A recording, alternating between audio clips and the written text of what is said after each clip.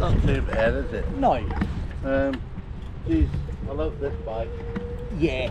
You make the other one look like a toy. that good, you know. You know?